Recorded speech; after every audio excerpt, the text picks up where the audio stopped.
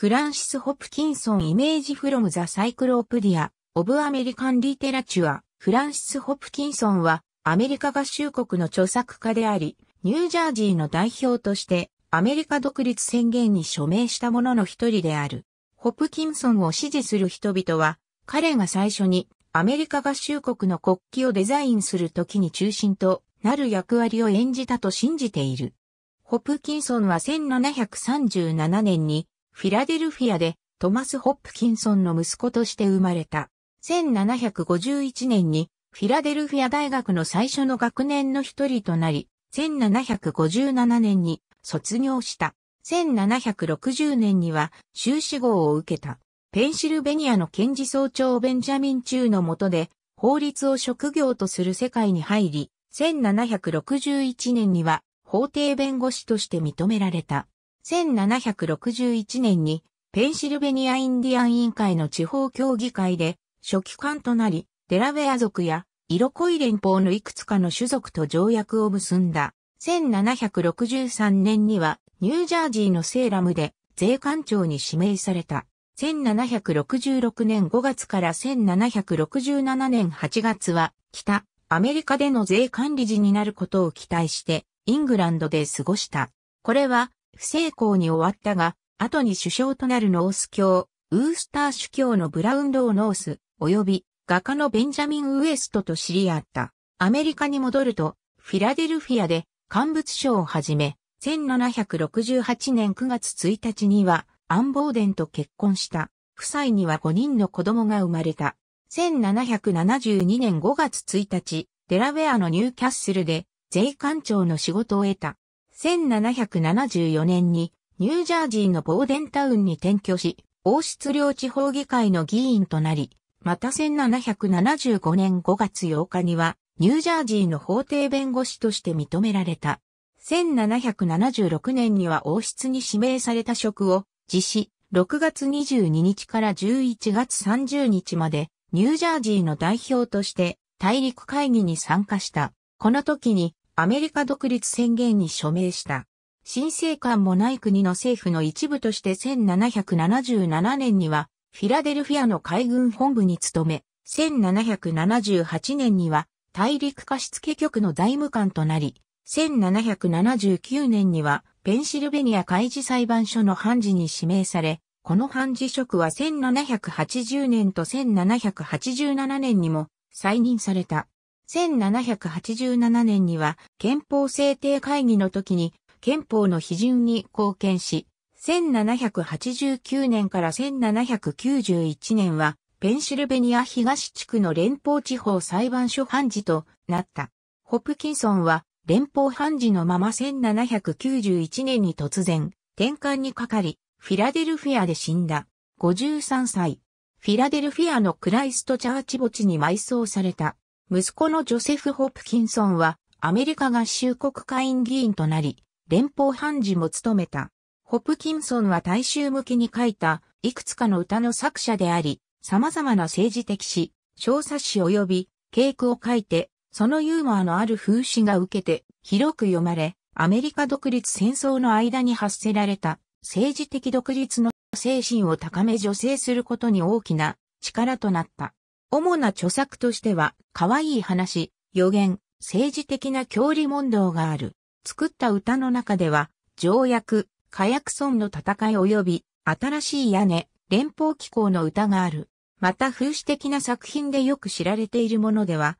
喧嘩をする印刷の上の方法、ホワイトウォッシングの随筆及び、現代の学びがある。様々な随筆と折々の書き込みは1792年にフィラデルフィアで3巻になって発行された。アマチュアの音楽家としての評判もある。17歳でハープシコードの演奏を始めた。1750年代に多くのヨーロッパの作曲家によるアリア、歌、楽器譜を移したいくつかの歌の作曲もした。1760年代までにコンサートでプロの音楽家と共にハープシコードを演奏できるまでになった。1770年にフィラデルフィアのクライストチャーチでオルガンを演奏した。1780年代、グラスハーモニカを鍵盤で演奏できるよう改良し、金属球の音を使った楽器であるベラーモニックを発明した。ホプキンソンの旗。6両星を3から2から3から2から3と配列しているホプキンソンはアメリカ合衆国の最初の国旗をデザインしたと主張し、大陸会議から保証を得ようとした。大陸会議は多くの人々が国旗のデザインに関わっており、ホプキンソンはすでに公木として給与を払われているという言い訳で、ホプキンソンの要求を拒んだ。公式にアメリカ合衆国の国旗を定めた1777年の国旗決議案は星の配列を決めていなかったという別の議論もある。国旗決議案に合致するデザインは多くが考えられ、星が方形の配置、臨場、いくつかの列、模様あるいは馴染みのあるベッツイロスの輪などがあった。ホプキンソンが最初にデザインした正常期は13世を専門用語で五数配列と呼ばれる千鳥状に配置したものだった。これは5つを単位とするモチーフを繰り返すという考え方だった。この配置はどうしても対角線上を強く印象づけることになった。13世紀の場合、イギリスの国旗に組み込まれているセントジョージとセントアンドリューの十字に見誤られる可能性があった。この類似性が意図的なものであれ、また偶然のものであれ、星を3列の平行線上に並べる、わかりやすいやり方が5数配列よりも多くのアメリカ人に好まれたことを説明できる。ホプキンソンは円環状に星を並べた旗もデザインした。これは馴染みのあるベッツロス旗に近いが、6両星を使っていた。1780年5月25日、ホプキンソンは大陸海軍局宛てにここ3年間で完成したいくつかの愛国的なデザインに関する手紙を書いた。一つは海軍局の紋章であり、青の地に赤と白の縞模様の盾を描いていた。他のものは財務局の紋章、大陸通貨のための7つの工夫、及びアメリカ合衆国の国旗であった。この手紙で、ホプキンソンはこれらのデザインについて急承しなかったが、現在は報酬、公的なワインの4分の1樽を求めていると書いた。海軍局はこの手紙を大陸会議に送った。ホプキンソンは6月14日にその絵と工夫について別の請求書を送付した。リストに挙げられていた最初の項目はアメリカ合衆国海軍機であった。その価格は9ポンドだった。財務局は1780年10月27日の大陸会議に対する報告書でこの要求を却下した。財務局はこの行動に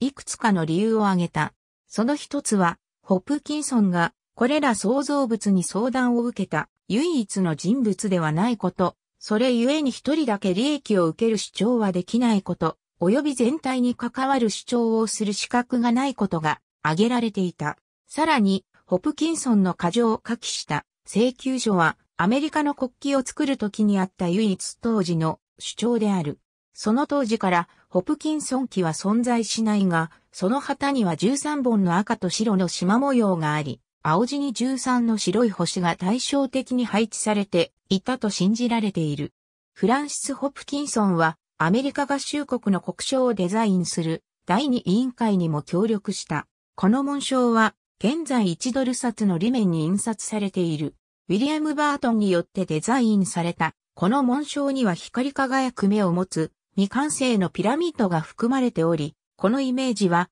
ホップキンソンが大陸50ドル紙幣のデザインに使ったものである。当時共謀した理論家はこの紋章がフリーメイソンのイメージを入れたものと考えた。ありがとうございます。